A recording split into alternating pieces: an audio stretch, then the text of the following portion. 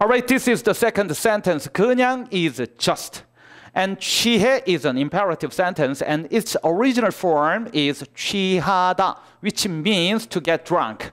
So 그냥 취해 is just to get drunk. And the next word 마치 is the same as as if or is like blah blah blah blah. And Dionysus Actually, Dionysus, this word is also written the way it sounds, which means, like I said, the wine god.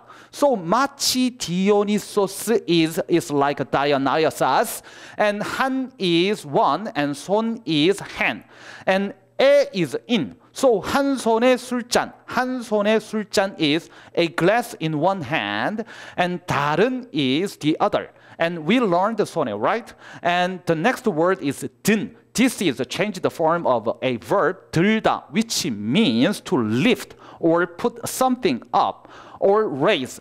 And when 들다 is changed into 든, this is used as an adjective in order to modify, modify the noun behind. So in this lyric, 티르소스, right?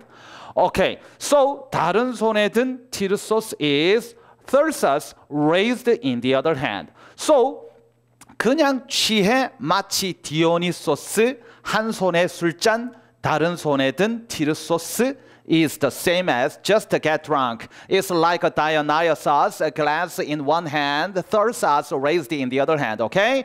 Okay, we're gonna go over the second sentence. Okay, just click right now before this video ends. Okay, here we go.